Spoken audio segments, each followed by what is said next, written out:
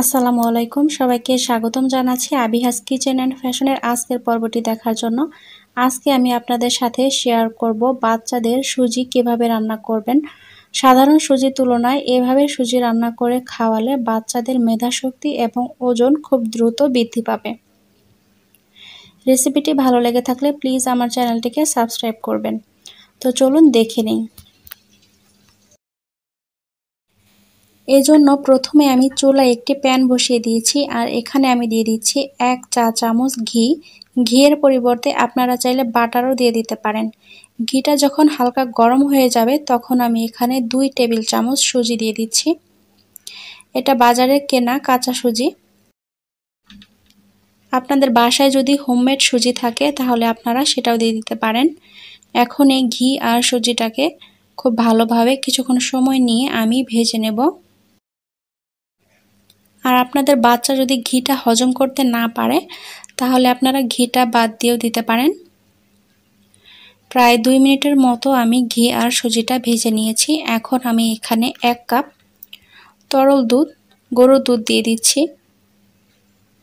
অল্প অল্প করে আমি এক হাত দিয়ে দুধ দিচ্ছি আর আরেক হাত দিয়ে আমি মিশিয়ে নিচ্ছি।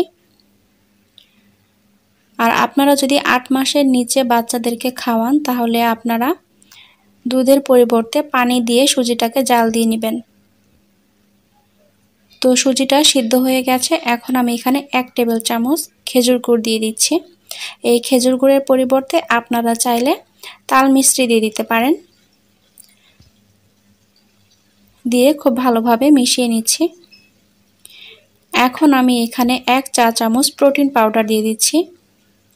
এখানে আমি কাঠবাদাম, কাজু বাদাম আর বাদাম হালকা করে টেলে আমি ব্লেন্ডারে ব্লেন্ড করে নিয়েছি।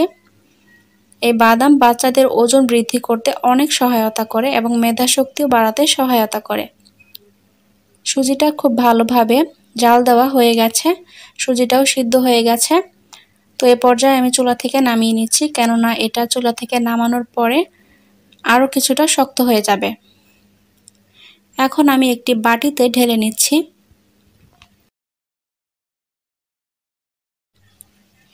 এরপর আমি এখানে একটা কলা হাত দিয়ে চটকে নিয়েছি। এখন আমি কলাটা সুজির মধ্যে দিয়ে দিচ্ছি। দিয়ে খুব ভালোভাবে সুজির সাথে মিশিয়ে নিচ্ছি। নর্মাল সুজির তুলনায় বাচ্চাদেরকে যদি আপনারা এভাবে সুজি খাওয়ান, তাহলে দেখবেন বাচ্চাদের ওজন এবং মৃদা শক্তি অনেক বৃদ্ধি পাবে। আর যারা পানি দিয়ে সুজিটা সিদ্ধ করবেন, তারা এ পর্যায়ে আপনারা, আপনাদের বেবিকে যে ফর্মুলা মিল্কটা খাওয়ান এ পর্যায়ে আপনারা মিশিয়ে নেবেন। তো আশা করছি আপনাদের কাছে আজকের রেসিপিটি ভালো লেগেছে।